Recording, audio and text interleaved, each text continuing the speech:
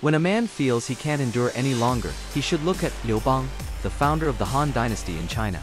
At 38, he had achieved nothing, didn't even have enough money for basic expenses, and relied on trickery to get food and marry his wife.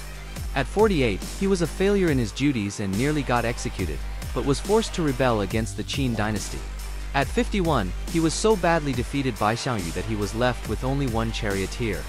At 54, he vanquished Xiang Yu, established his capital in Chang'an, and ruled the empire. At 62, he returned to his hometown in glory. Some people succeed early, others achieve greatness later in life. There's no such thing as a life without failure, it's just that you are one opportunity away from a rise. Subscribe to me to learn more about legendary figures in Chinese history.